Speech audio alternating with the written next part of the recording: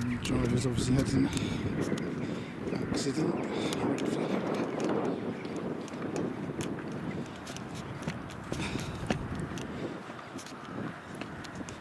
There's the driver.